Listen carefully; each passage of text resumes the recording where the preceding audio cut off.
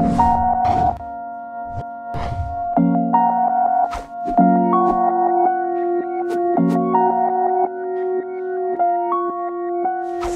ο κ. Κωνσταντίνος Βαφιάδης του Πανεπιστημίου Αθηνών θα μιλήσει με θέμα Εκκλησία και τέχνη και η εικαστική μορφή ως ιδεολόγημα.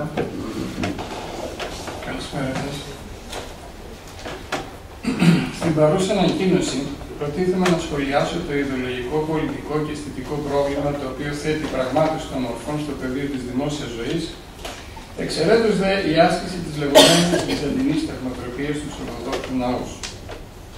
Τούτο κρίνεται αναγκαίο καθώς η Εκκλησία, η οποία δηλώνει με κάθε ευκαιρία την απόλυτη υποταγή της στα παραδεδομένα, έφτασε στο σημείο να λαμβάνει μέτρα καταστολής και της φήμησης κάθε προσπάθεια για ουσιαστική, ζωντανή και ανεπηρέαστη από ιδεολογήματα ή καστική έκφραση του Ευαγγελικού μηνύματος. Η εν λόγω συμπεριφορά θεμελιώνεται σε μια στρεβλή ερμηνεία της έννοιας παράδοσης. Η στρεβλή αυτή ερμηνεία αποτελεί προϊόν ιστορικής επιλογής στην εξέταση της οποίας προχωρώ ευθύ αμέσως. Από τον 12ο αιώνα, ο ελληνισμός βιώνει συνειδησιακό διχασμό, καθώς αναμετριέται αγωνιωδώ με τον εξελισσόμενο ειδικά και πνευματικά δυτικό κόσμο. Απέναντι σε αυτήν τη συνεχώς παρούσα και ζωντανή πρόκληση, δεν μπορεί να διτάξει τελικά τίποτα άλλο παρά το έντοξο παρελθόν του, άλλοτε το αρχαίο κλέος και άλλοτε την ορθόδοξη πνευματικότητά του. Αναδιπλώθηκε στο μεταφυσικό του ταμείο απόλυτα ικανοποιημένος από το μεγαλείο της ιστορικής του διαδρομής και της κληρονομιάς του. Εν τούτης, η συντηρητική αυτή επιλογή δεν στάθηκε επαρκή συνθήκη για να καλύψει τις κοινωνικές και πνευματικές μας ανάγκες και να θεμελιώσει έναν ζωντανό και δομημένο στο παρόν ελληνισμό. Οι ιστορικές συγκυρίες ήδη πριν την άλωση θα οθήσουν την Μεγάλη Εκκλησία προς το συγκεντρισμό και την περιφρούρηση ταυτότητάς της η οποία έκτοτε συγκροτείται σε αντιπαράθεση με την επιστημονική εκλογήκευση και επιστροφή προς τον κόσμο και την ιστορία. Ιδιαίτερα μετά το 1453, η Εκκλησία θα διώξει κάθε διοθνείο διαλότριο στο πλαίσιο της διατήρησης των παραδεδομένων, ειδικά όσων διαμόρφωσαν τα γνωρίσματά της κατά την όψιμη βυζαντινή περίοδο και συνδέονταν τώρα με την αποστολική της δραστηριότητα και το συνεκτικό της ρόλο στην Οθωμανική Οικουμένη. Ο συνειδησιακός διχασμός και η αμφίροπη στάση του ελληνισμού έναντι των δυτικών πολιτισμικών αξιών αναδύεται ολοκάθαρα στην ελληνική περίοδο. Στην Ελλάδα του 19ου αιώνα, η μεταπρατική και η ιδιωτική διαχείριση των αισθητικών και πολιτικοκοινωνικών ευρωπαϊκών ρευμάτων θα καταστήσει τούτα ανάπηρα, αφού οι υγιεινεί πνευματικές δυνάμεις δεν θα υιοθετήσουν τη συμφυή στα ρεύματα αυτά δυνατότητα κοινωνικής κριτικής. Ο εθνικισμός και η προγονολατρία, απότοκα του ευρωπαϊκού ρομαντισμού, όπως διατυπώθηκε από τον Φίχτε και τον Σέλιν, κυριαρχούν πλέον στην ελληνική πολιτική διανόηση του 19ου αιώνα, θέτοντα τις βάσεις για την ανάπτυξη μέσω δημοφιλών μυθευμάτων τύπου κρυφού σχολείου, του βυζαντινισμού του Σπυρίδων Ζαβέλιου και των ανεδαφικών μεγαλοδιατικών τάσεων της εποχής. Οι ιστορικές αυτές συνθήκες και το νοσηρό πολιτισμικό πλαίσιο δεν θα ευνοήσουν τη γενή αισθητική και πρωτογενή οικαστική έκφραση στην Νότια Ελλάδα. Γι' αυτό και η νεοελληνική μας τέχνη, η δημόσια τουλάχιστον, στρέφεται εξ αρχής προς εξειδενικευμένες ιδεολογικές περιοχές στην Αττική Ωρεοπάθεια και στην οχέλεια του νεοκλασικιστικού αισθητισμού. Εκεί θα αναζητήσει τα στιλιστικά της πρότυπα, αλλά και τα απαραίτητα σύμβολα και την αναγνώριση της ιστορικής της μορφής. Αλλά και όταν στο μετέχνιο του 19ου προς τον 20ο αιώνα έρχεται στο προσκήνιο το δίκαιο αίτημα για επιστροφή στις πολιτιστικές μας ρίζες, το ιδεολογικό του υπόβαθρο το είχε ήδη υποσκάψει αντίφαση και αμφισημία λόγω της οργανικής του σχέσης με τα προηγθέντα ιδεολογήματα. Την ίδια περίοδο, δύο ιδεολογικά αντίπαλες παρατάξεις συμφωνούν για την αξία του Βυζαντίου και της παράδοσής του. Στη μια πλευρά βρίσκονται οι προοδευτικοί, οι δημοτυπιστέ, οι οποίοι εκτιμούν τον βυζαντινό πολιτισμό και εμπνέονται από αυτόν. Στην άλλη πλευρά τίθεται η συντηρητική και η νόμο κρατούσα εκκλησία, ο βυζαντινισμός, η οποία έχει σαφώς αληθρωτικό περιεχόμενο. Εν τούτης, δεν είναι η συντηρητική πλευρά που φέρει στην επιφάνεια το βυζαντινό ιδίωμα ως διαμαρτυρία ενάντια στον άνευ εξευρωπαϊσμό, αλλά η προοδευτική. Αυτή θα προετοιμάσει το έδαφος για τη γενιά του 30, κύριο αίτημα της οποίας έμενε να είναι η αναζήτηση της ελληνικότητα και η επανεκτίμηση της γηγενούς καλλιτεχνικής παραγωγής. Αφετέρου, η σύνδεση της εθνικής παράδοσης και συνείδηση με συγκεκριμένα τεχνοτροπικά χαρακτηριστικά συνιστά ήδη από το φθήνοντα 19ο αιώνα δημοφιλές ιδεολόγημα διάρκεια στη σκέψη πολλών Ελλήνων διανοητών. Αλλά πώς είναι δυνατόν ο ρομαντικός εξοφιλετισμός και η του ύστερου 19ου αιώνα να εκφράζεται με τεχνοτροπικά γνωρίσματα προϊόντα ενό οικονομικού πολιτισμούς πολύ πολύ αρχαιότερο αφήγηση τη εθνική ιδέα, χρειάστηκε πράγματι να χαλκευτεί με θεολογικές, ταχυδακτηλουργίες και άλλε μαρτυρίες η πραγματικότητας του Βυζαντίου και της τέχνη. Έτσι, στις αρχές του 20ου αιώνα, εμφανίζεται ένα νέο ρεύμα στην Ελλάδα, η Ορθοδοξία, μια πτυχή της οποίας αφορούσε στη θεολογία της μορφής. Η κεντρική ιδέα της εν λόγω θεωρίας μπορεί να συνοψιστεί στα εξής. Η καλλιτεχνική μορφή δεν αναφέρεται μόνο στο ιερό της πρότυπο, αλλά το ενσαρκώνει πραγματικά. Η μορφή είναι έργο και αποτέλεσμα της βούλησης του Θεού. Τα μορφικά στοιχεία, η τεχνοτροπία, όπως και τα υλικά μέσα για την πραγμάτωσή της ως ιερά και υπό του Θεού καθορισμένα δεν πρέπει να μεταβάλλονται. Είναι προφανές ότι οι ανωτέρω αντιλήψεις είναι αμάρτυρες στην παρά τη Εκκλησίας και αυθαίρετες καθώς ακροβατούν μεταξύ πλατωνικού μυστικισμού και ψευδοϊσυχαστική ρητορίας. Εν τούτης, αποδεκτές και ενισχυμένες μετά το 1945, θα συνδράμουν στι αντιφατικές και σπασμωτικέ θεολογικές τάσεις που για μια ακόμη φορά εκφράζονται με την επιστροφή στο παρελθόν. Αναφέρομαι στη λεγόμενη αναγέννηση του αγιορείτικου μοναχισμού και της παλαμική θεολογίας με τον εμβληματικό ξενοφοβικό του χαρακτήρα. Το ιδεολογικό αυτό περιβάλλον θα τρέψει την Εκκλησία προς έναν άκτητο και άκρατο βυζαντινισμό με τον οποίο επιχειρεί να εκφράσει την ταυτότητά της σήμερα. Κατά συνέπεια, κάθε μορφή εκκλησιαστικής τέχνης που δεν συμφωνεί με τον καθεστωτικό βυζαντινισμό της Εκκλησίας θεωρείται ύποπτη δογματικής και εθνικής μειοδοσία. Γι' αυτό και τα μέτρα καταστολής και λογοκρισίας έναντι όλων των εντός αυτή φιλοπρόοδων τάσεων. Λόγω στενότητας χρόνου, θα σημειώσω τις πλέον αξιοσημείωτε περιπτώσεις λογοκρισίας και βανδαλισμού, στις οποίες βασικό κίνητρο στάθηκε η καταστολή της εταιρότητα στην έκφραση και στην προσέγγιση του Ορθόδοξου βιώματος. Μεταξύ των ετών 1927 και 1932, ιστορείται ο Μητροπολιτικό Ναό της Άξα υπό του Σπύρου Παπαλουκά. Στο έργο αυτό, ο ζωγράφος, χωρίς να παρεκκλίνει θεματικά από τη βυζαντινή παράδοση, την οποία είχε επισταμένω και διαμακρών μελετήσει, καταθέτει το προσωπικό του όραμα δημιουργώντας μια πρωτότυπη όσμωση ανάμεσα στην τέχνη του Βυζαντίου και σε αυτή του 20ου αιώνα. Τούτο καθιστά τον Παπαλουκά εκφραστή μιας γόνιμης θρησκευτικής ζωγραφικής και όχι εκτελεστή ενός παροχημένου καλλιτεχνικού ύφους με συμβολικό χαρακτήρα. Όπως ήταν φυσικό, η φιλοπρόοδη αυτή προσπάθεια προκαλέσει θύελα αντιδράσεων. Ο Παπαλουκάς θα διωχθεί από την Εκκλησιαστική Επιτροπή, κυρίως όμως από τις προκαταλήψει του πληρώματο της Εκκλησίας. Μερικά χρόνια αργότερα, δικαστική απόφαση επιφέρει τη δικαιοσύνη του, όχι όμως και της συντήρησης του έργου του. Τα ίδια λίγο πολύ ισχύουν και στην περίπτωση του Σπύρου Βασιλείου, ο οποίος ιστορεί τον ναό του Αγίου Διονυσίου του Αρβαγίτη στην Αθήνα 1936 και 1939, χτισμένο στα σχέδια του Αναστάσιο Ορλάντου. Στο διάκοσμο αυτό, οι οικαστικοί τρόποι του Βυζαντίου συνδυάζονται με νέες ζωγραφικές λύσεις. Στο δυτικό τείχος σώζεται η Σταύρωση του Χριστού, συνδυασμένη με τη διδασκαλία του Αποστόλου Παύλου στην Αθήνα. Τα ιερά γεγονότα δεν τοποθετούν σε, σε ένα ουδέτερο, χωρίς ιστορική αιτιολόγηση τοπίο, αλλά στο γεμάτο φως και θάλασσα της Αττικής. Εν τούτης, η εικονογράφηση στον ναό του Αγίου Διονυσίου θα πυροδοτεί σειρά αντιδράσεων και συζητήσεων στον ημερήσιο τύπο της εποχής. Ο ζωγράφος χαρακτηρίζεται τουριστής. Το εύλογο αίτημά του για ανανέωση της εκκλησιαστική ζωγραφικής θα ενοχλήσει τη συλλογική μερίδα της Εκκλησίας. Το αποτέλεσμα θα να αρχίσουν διαδικασίες για την ψήφιση σχετικού εκκλησιαστικού νόμου του 1938, ο οποίος θα απαγορεύσει το εξής δημιουργικές παρεμβάσεις στην εικονογράφηση των ναών. Ισχύει και σήμερα ο νόμος Έκτοτε ο Βασιλείου θα πάψει με ιστορία Εκκλησία με την ίδια ανανεωτική διάθεση. Αλλά και ο Γιάννης Τσαρούκης δεν θα τύχει διαφορετική αντιμετώπισης. Επειδή ακριβώς θέλησε να αναπλάσει με τρόπο τολμηρό αλλά όχι αφαίρετο την εκκλησιαστική μα ζωγραφική. Τόσο σε εικόνες και ιδίως στι προκαταρκτικέ μελέτες για το βίο της Αγίας Παρασκευής που πρόκειται να εικονογραφηθεί στο, ε, στο γειτονικό του Μουσείου Θεοφίλου Ναός στη Μητυλίνη το 66-67, ο ζωγράφος εκφράζει με τρόπο γνήσιο και αληθινό το όραμα της ζωής του λαϊκού ελληνισμού. Αλλά το αίτημά του δεν μπορούσε να συνταιριάξει με τις συντηρητικέ αγκυλώσει της Εκκλησίας. Έτσι, δια την κακία των καιρών, όπως ο ίδιος ομολογεί, το έργο του δεν θα πραγματοποιηθεί ποτέ. Το 1975, ο Ράλτη Κοψίδης εργάζεται στην εικονογράφηση του ιερού ναού του Αγίου Παύλου στο Ορθόδοξο Κέντρο του Οικουμενικού Πατραγίου στη Γενέβη.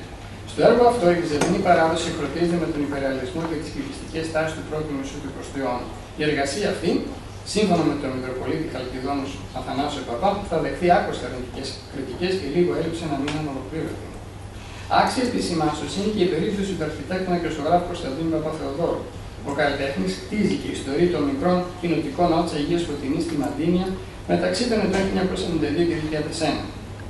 Τόσο το αρχιτεκτονικό στήλο και η εικονογραφία των παραστάσεων συγχωνεύει στοιχεία από το σύνολο της ελληνικής μορφολογικής παράδοσης, αρχαίας, μεσαιωνικής και νεότερης. Αυτό θα σταθεί αρκετό στο διάκοσμος να θεωρηθεί από την τοπική εκκλησία ως επέλαση του παγανισμού. Ο δημιουργός θα δεχθεί επίθεση φονταμεταλιστών Ορθοδόξων, αλλά και τη δημόσια καταδίκη του έργου του από τον τότε Μητροπολίτη Μαντινίας Κοινωνία Θεόκλητο. Μετά από αυτά, ο κ. Παπαθοδόρου προβαίνει σε τροποποίηση των δικογραφιών προκειμένου να περισσώσει τον ναό και να γλιτώσει από το μένο των ζηλωτών Ορθοδόξων. Η πλέον πρόσφατη περίπτωση κόπινη αλλίωση δικογραφιών και δίωξη καλλιτέχνη είναι αυτή του υποφαινομένου. Η ελόγω περίπτωση είναι εξαιρετικά περίπλοκος και γι' αυτό ελάχιστα μπορούν να υποθούν εδώ.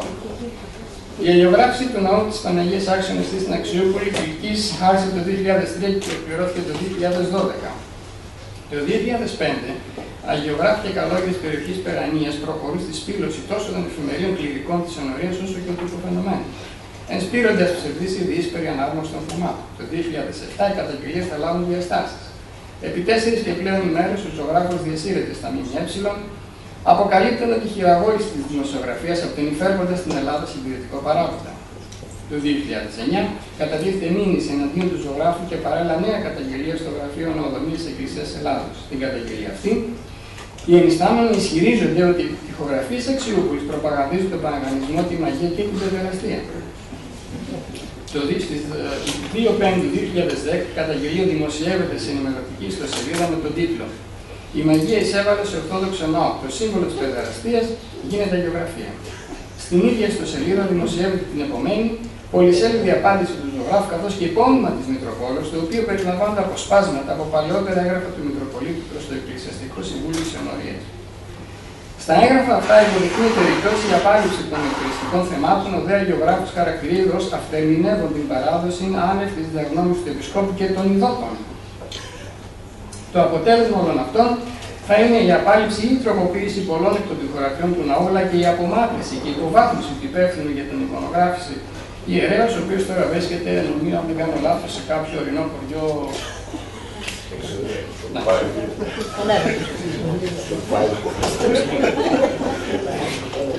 Σημειωτώνεται η την περίοδο συγκεκριμένου ιερέα ήταν και υποψήφιος για τη Μητρόπολη Αγκαδά και φυσικά απορρίφθηκε να συζητηθεί.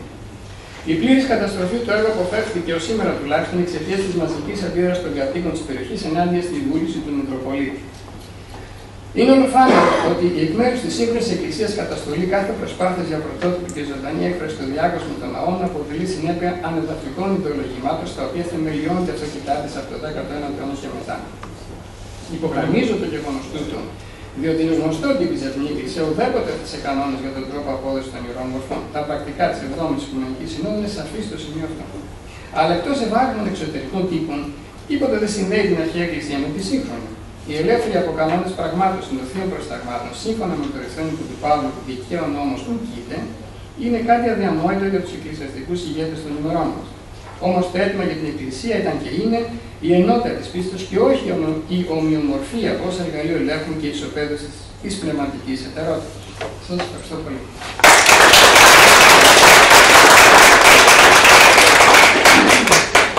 Ευχαριστούμε την κύριο Φιάννη για την πολύ ενδιαφέρουσα ανακοίνωση. Έχουμε λίγο χρόνο για δύο έως τρεις ερωτήσεις που θα απευθύνονται σε όλες τις ανακοινώσεις ε, της πρωινής συνεδρίας, οπότε όποιος νομίζει και θέλει.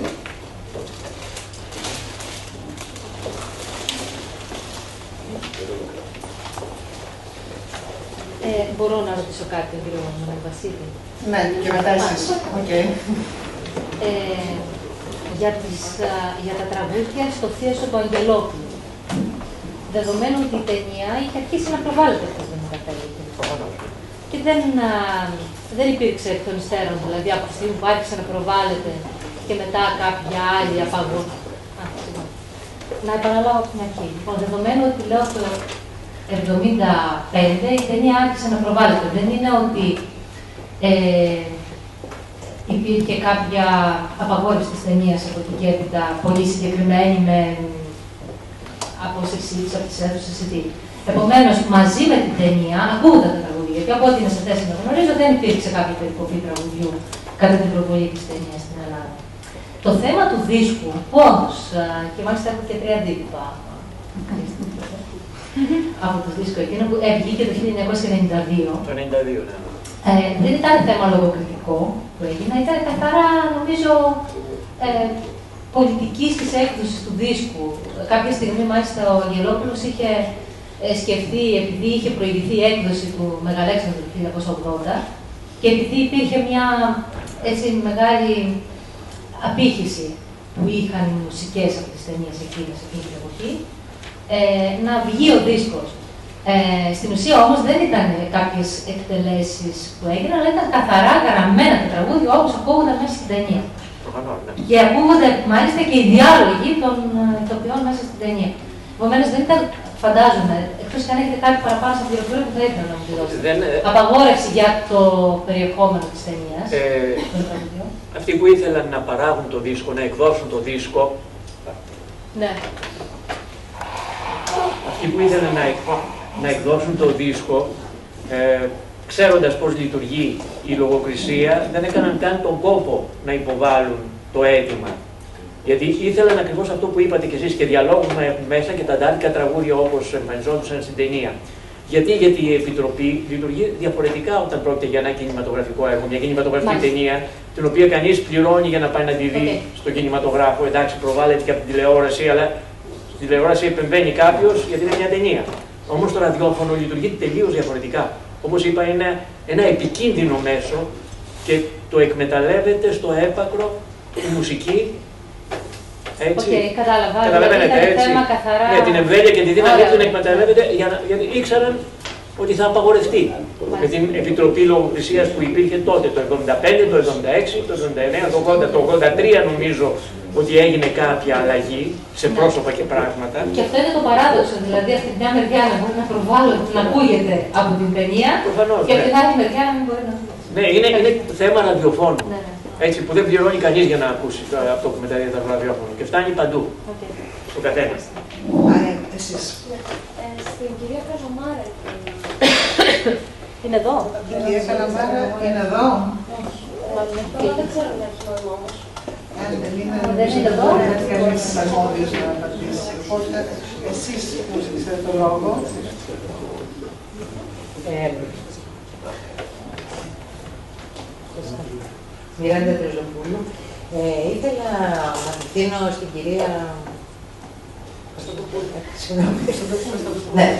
Ε, αν ε, είχε, δεν, δεν αντιλήφθηκα αν ήταν σκόπιμο αυτό, ε, τα πλαίσια δηλαδή που είχε βάλει, που είχε βάλει στα, ε, στην ανακοίνωσή της. Ε, γιατί πέρα από ένα πολύ στερεότυπο ε, σχετικά με την παραδοσιακή μουσική δεν αναφέρεται καθόλου στη λογοκρισία αυτού του τομέα της μουσικής που συνήθως λέμε απλώς ταυτίστηκε με την κούντα και δεν λέμε τίποτα άλλο.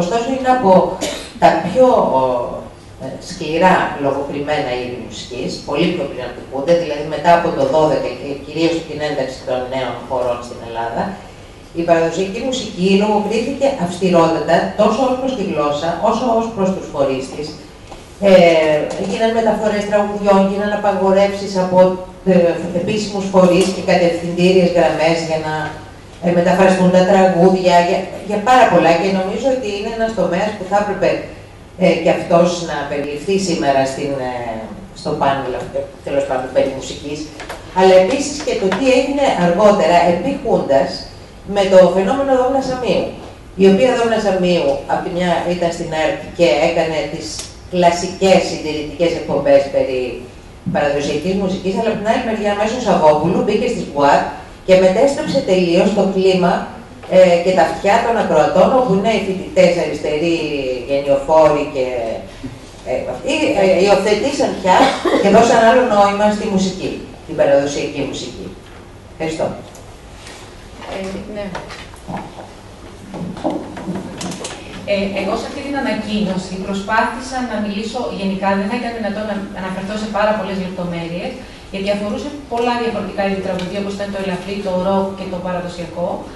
Ε, ωστόσο, έχετε δίκιο, το παραδοσιακό τραγούδι πριν από τη Χούντα, από πάρα πολύ νωρίς, σε μια προσπάθεια εξευγενισμού ε, που είχε γίνει για να ταιριάξει με την αρχαία βυζαντινή και αρχαιοελληνική παράδοση, όντως είχε υποστεί μια μεγάλη λογοκριτική, είχε μπει σε μια διαδικασία λογοκρισίας. Ε, και είναι χαρακτηριστικό ότι το τραγούδι που ανέφερα εδώ πέρα, το Γρήβαμ σε θέλει ο Βασιλιάς, είναι ένα τραγούδι που αρχικά αναφέρονταν ε, σε έναν ε, αρχηγό της Επανάστασης, που ήταν αντίθετος ε, με την, ε, που πρωτοστάτησε στην Επανάσταση για τη διεκδίκηση του συντάγματος. Ε, αργότερα άλλαξε στίχους και έγινε, αργότερα ε, έγινε φιλοβασιλικό, αργότερα έγινε φιλοχουντικό αλλάζοντας τύπους και κατέληξε στη μεταπολίτευση να θεωρείται χουντικό και να λογοκρίνεται στα τέλη σχεδόν της δεκαετίας του 80. Οπότε εγώ δεν προσπάθησα να μιλήσω για το σύνολο του παραδοσιακού τραγουδιού, ε, για, για το τι συνέβαινε όλη αυτή την περίοδο, θα ήταν αδύνατο σε μια τόσο μικρή ανακοίνωση. Ευχαριστώ. Ε, πολλά χέρια. Λοιπόν, θα μαζέψουμε. Είναι τέσσερις ερωτήσεις και σταματάμε εδώ. Θα, θα διατυπωθούν όλες μαζί για να δούμε μήπως συγκλίνουν στο να κερδίσουμε χρόνο. Εσείς, εσείς, εσείς και εσείς, ναι. Ε, σε σχέση με τη Μαρία Καραβέλα θέλω να ρωτήσω. Ε, και να βάλω και κάποια στοιχεία και να διευκρινίσω κάποια άλλα. Ε, καταρχήν δεν καταλαβαίνω το... Ε, οι καλλιτέχνες είχαν πάψει να εκθέτουν. Δεν είχαν πάψει να εκθέτουν, ναι, οι Έλληνες ρεαλιστές. Αλήθεια είναι. Συνέχισαν να Είχε εκθέτουν; απεργία καλλιτεχνών. Ναι, Κατά τη υπήρχε- διάρκεια της υπήρχε- ε, δικτατορίας είχε διακηρυχθεί η απεργία ε, Ε, Παρακαλώ, όχι μην καθόλου είναι διάλογος ναι, όμως. ναι. Για να κερδίσουμε Και τον ας χρόνο. βάλετε σε Ναι, sorry. Ναι, πα- παρόλα αυτά πάντω οι νέοι Έλληνε ρεαλιστές συνεχίζουν να εκθέτουν Ναι. και το 1973 ε, και ο Κανιάρης εκθέτει στην αρχή ε, και ο Σόρογκας και η... Ε, θέμα. Ναι, και ο Αληθινός, ε, επίσης στο δεσμό το έργο μετά. 73 είμαστε τότε. Ε, Είναι 71. Μιλάμε για 70. Ε, δεν έχω και νωρίτερα, δηλαδή αν ψάξω να τα βρω έχω σίγουρα και νωρίτερα. Και στο Ναι, ενδιάμεσο. δυστυχώς. Εντάξει, Είναι ωραία, ερώτηση. δεν- Ε, ναι, τε- όχι, επειδή Είναι ναι, να πατάτε. Είναι λίγος γνωστός ο χρόνος. γιατί Ναι, ναι, ναι, ναι, έχετε πιέζει δίκιο. ο χρόνος. Ε, οπότε, ε, εγώ αμφισβητώ το ότι οι, Έλληνε- οι καλλιτέχνε είχαν σταματήσει να εκθέτουν. Και έχω μία ε, απορία πάντα σε σχέση με, την, ε, με το τι θα πει αυτό εξορία και. Δηλαδή, ε, τι γνωρίζουμε σε σχέση με αυτό που είπατε με τη σχεδόν φυγάδευση της Καραβέλα; Γιατί όλο αυτό το, με τους καλλιτέχνες που έφυγαν στο εξωτερικό για να. μ, Δεν μου είναι καθαρό. Ε, για για του καλλιτέχνες συγκεκριμένα για την Άρα, Καραβέλα. μετά, μετά, Ε, μαζέψεις, μάλιστα. Ο κύριος Ματάλας έχει σηκώσει το χέρι, μετά εσείς.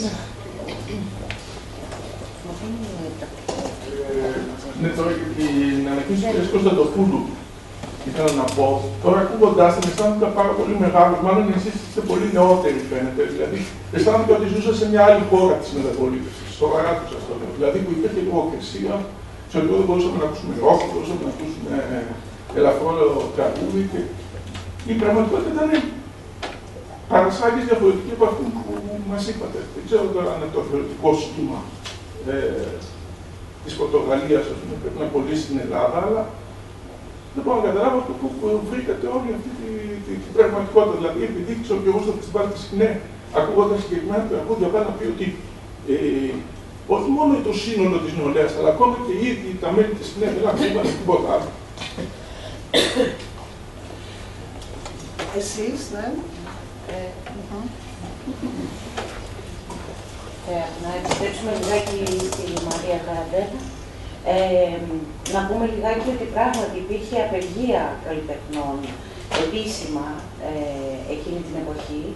Ε, σε συνεννόηση με την ε, γκαλερίστρια από την γκαλερία Άστορ, η Μαρία Καραβέλα εξαιτίας της ριζοσπαστικότητας του έργου της, ε, πήρε την ευθύνη και έκανε αυτή την, τον πρώτο, πρώτη εγκατάσταση που νομίζω είναι πολύ σημαντικό ε, να καταλάβουμε και για την περίπτωση της Μαρίας Καραβέλα, πέρα από το ριζοσπαστικό πολιτικό λόγο που είχε, ε, νομίζω ότι αξίζει να, να, να σταθούμε και στη ριζοσπαστικότητα της οικαστικής της γλώσσας. Να πούμε ότι για πρώτη φορά με εκείνη της την παρουσίαση κάνει αυτό που λέγανε τότε χώρος, που είναι πολύ σημαντικό ε, για τα δικά μας τα εικαστικά ε, πράγματα. Να πω ότι εγώ είμαι εικαστικός και έχω κάνει μια έρευνα σχέση με τη Μαρία Καραβέλα αρκετά χρόνια. Ε, να πούμε επίσης γιατί ότι πέρα από το γύψιμο που πάρα πολύ ωραία ανέφερε η Λίνη Στάφη, ε, η δράση και η παρουσία της ίδιας της καλλιτέχνης τους εκεί πέρα μέσα, που στην ουσία είναι η πρώτη performance που έχουμε στην Ελλάδα, η Μαρία ήταν ντυμένη με μία στολή φυλακισμένη από τις φυλακές Αβέροφ, που νομίζω ότι αυτό ήταν ένα επιπρόσθετο στοιχείο για να μπορέσει να, να γίνει όλο αυτό το πράγμα που συνέβη και μετακινούσε από εδώ και από, σε διάφορα σημεία. Είναι σαν το αυτά τα μπορείτε να σεκιά. κάνουμε ερώτηση, σας παρακαλώ. Πολύ γρήγορα. Ναι, ναι, ναι. Ε, αυτό που εγώ δεν θέλω να κάνω κάποια ερώτηση. Έχω την αίσθηση επειδή η συγκεκριμένη καλλιτέχνη ε, είναι αρκετά, ε, πώς να το πω, παραγνωρισμένη, είναι σημαντικό να ακουστούν κάποιες λεπτομέρειες από όλο αυτό το έργο. Και αυτό που θα ήθελα να βάλω ως συζήτηση, που νομίζω ότι αγγίζει όλα τα θύματα λογοκρισίας, πολύ σωστά η Ειρήνη Στάθη μας μίλησε, επειδή μιλάμε για εικαστικά και επειδή ε, μ, ότι όλο αυτό, ε, όλη αυτή η βία της εξουσίας αρχίζει και γυρνάει στο πρόσωπο. Θα ήθελα λοιπόν να βάλουμε λιγάκι σαν θέμα συζήτησης κατά πόσο το πρόσωπο, εφόσον είναι ένας ενεργός καλλιτέχνης, αυτό το τραύμα της λογοκρισίας επηρεάζει το έργο του και ακόμη περισσότερο τη ζωή του. Δηλαδή, ε, για μένα, αυτό θα έπρεπε να, να μάθουμε κάτι από όλο αυτό. Ευχαριστούμε πάρα πολύ για τον προβληματισμό. Ο κύριος Κοκκόνης, τελευταία ερώτηση. Ε, σύντομη ερώτηση, κύριε Κωνσταντοπούλου. Σας έχουμε κόμματι. Λοιπόν, θα ήθελα να μου πείτε πώς ε, εννοείται τον όρο λαϊκός και λαϊκός πολιτισμός. Ε, μάλλον λαϊκός γενικά, όχι λαϊκός πολιτισμός. Λαϊκός, ε, γιατί έχουμε ένα πρόβλημα στην Ελλάδα. Το popular υπάρχει ως δημοφιλές και το λαϊκός, εγώ τουλάχιστον σαν μουσικολόγος θέλω μια αισθητική ε, διαφοροποίηση, για να καταλάβω πώς το εννοούμε. Ε, Επίσης, θα ήθελα να σας πω ότι νομίζω ότι είναι καλό να αποφεύγουμε πριν τη μεταπολίτευση την προχωρημένη μας περίοδο, δηλαδή το ΤΑΕ της ουσίας, να χρησιμοποιούμε τον όρο παραδοσιακή, γιατί δεν υπάρχει. Και ακριβώς ο όρος αυτός χρησιμοποιείται και από τους νεοορθοδόξους ακριβώς για να ε, ξεβρωμίσει την ουσία το δημοτικό τραγούδι και τη βρωμιά που έχει κολλήσει επάνω του, επιλεκτικότατα όμως ένα ρεπερτόριο σηκώνω με την Ελλάδα του Εσταπούλου, η Χούδα. Πολύ σύντομα, αγαπητοί μου κυρία Κωνσταντοπούλου, κύριε Θάκη. Ε, ναι, να σας απαντήσω. Χρησιμοποίησα τον όρο λαϊκό τραγούδι μόνο όταν αναφέρθηκα στο. Α, δύο φορές. Στο ελαφρύ τραγούδι. Το λέτε ότι θεωρά λαϊκή απήχηση, πώς το εννοείτε. Γιατί το υπάρχω για την ίδια εποχή και σπάει όλα τα ταμεία που καταδίδει. Ε, δεν χρησιμοποίησα τον όρο λαϊκή για το Θεοδωράκη λαϊκή απήχηση. Είπα ότι ήταν ε, δημοφιλής και ότι πούλησε με αριθμούς και έβγαλε στην αγορά πάρα πολλούς δίσκους εκείνη την περίοδο. Ε, το λαϊκό το χρησιμοποίησα στο, αναφερόμενοι στο ελαφρύ τραγούδι ως ένα είδος που είναι δημοφιλές ε, σε μια μεγάλη μερίδα του κόσμου. Εντάξει, με αυτή την έννοια το χρησιμοποίησα και για το φάντο και για το ελαφρύ τραγούδι που μετά από πάρα πολλά χρόνια μετάδοση από το ραδιόφωνο είχε καταστεί πλέον ένα λαϊκό τραγούδι. Όπως το περιγράφουν ήδη, είναι το τραγούδι που τραγουδάγαμε στις γειτονιές και μεγαλώσαμε με αυτό, οι γενιές εκείνες εννοώ. Ε, σε ό,τι αφορά το παραδοσιακό, δεν ήξερα αυτή τη διάκριση. Δηλαδή, εσείς λέτε ότι ο όρος που πρέπει να χρησιμοποιούμε μετά είναι δημοτικό, ας πούμε. Έτσι. Δεν υπάρχει ο παιδί. Ναι. Ο όρος παράδοσης Δεν και υπάρχει. παραδοσιακό ταυτισμένο με το δημοτικό έργο. έτσι. Αναφέρεται βέβαια, αλλά εντάξει, με αυτή την έννοια που λέτε εσείς Ε, ότι βρείτε. κάποιος το χρησιμοποιεί χωρίς να γνωρίζει και. Θα Ναι. σας πω μετά έχει πάει μια Ναι, ναι. διαδικασία. Όχι, δεν το γνωρίζω αυτό και καλά κάνετε και μου το είπατε. Σε ό,τι αφορά τη δικιά σας την ερώτηση, σε καμία περίπτωση δεν θέλω να πω ότι δεν υπήρχαν άλλα είδη εκείνη την εποχή. Ούτε ότι, ε, ούτε ότι είχαν απαγορευτεί από κάποια μορφή λογοκρισία.